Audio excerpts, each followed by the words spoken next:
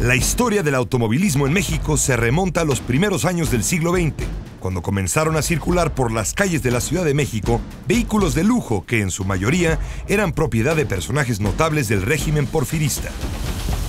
Para 1908 se fundó el Automóvil Club en la Casa del Lago de Chapultepec, de tal forma que para 1914 se inauguraron temporadas automovilísticas en el Hipódromo de la Condesa, lugar que reunió entusiastas aficionados por las carreras hasta 1920. La gran época del automovilismo mexicano inició a principios de la década de los 50, al inaugurarse la carretera panamericana, un enorme proyecto de ingeniería con el que se buscó comunicar a todos los países del continente, desde Alaska hasta Argentina. El tramo mexicano tenía una longitud de 3.584 kilómetros y cruzaba en total 13 estados entre ambas fronteras.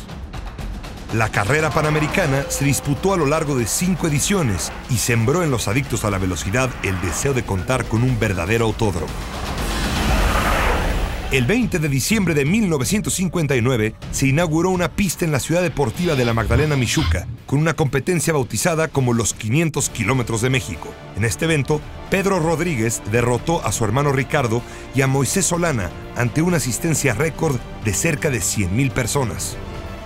Con la euforia generada por los triunfos de los hermanos Rodríguez a principios de los 60, las autoridades del automovilismo otorgaron a México la realización de una carrera no puntuable para el Campeonato Mundial de 1961. La organización resultó tan buena que para el año siguiente México contó con su primer gran premio. Sin embargo, el evento se vio ensombrecido por la muerte del joven piloto Ricardo Rodríguez, quien estrelló su auto contra el muro de contención durante el primer día de calificaciones el 1 de noviembre de 1962. En señal de duelo, Pedro y Moisés declinaron tomar la pista, pero aún así, el evento tuvo tanto éxito que se le otorgó la categoría de oficial a partir de 1963. A lo largo de nueve ediciones, el evento vivió momentos brillantes. Sin embargo, los organizadores retiraron la sede a la capital en 1971 debido a los disturbios provocados por manifestantes que invadieron la pista y que pusieron en riesgo la vida tanto de pilotos como de mecánicos y aficionados. Probablemente no volvamos a transmitir un Gran Premio de México.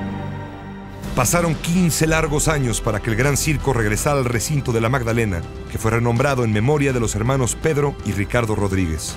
En 1984, José y Julián Abed, pertenecientes a una familia de tradición automovilística, solicitaron a la FIA el regreso de la máxima categoría y para 1986 dio inicio la segunda época de la Fórmula 1 en México, la cual duró hasta 1992. La exigencia de los pilotos por una mayor seguridad en la pista, así como el costo económico que implicaba su organización, fueron los factores determinantes que pusieron fin al evento. Figuras internacionales de la talla de Ayrton Senna, Nigel Mansell y Alain Prost dejaron huella en el circuito capitalino, que recibió de nueva cuenta la Fórmula 1 este 2015.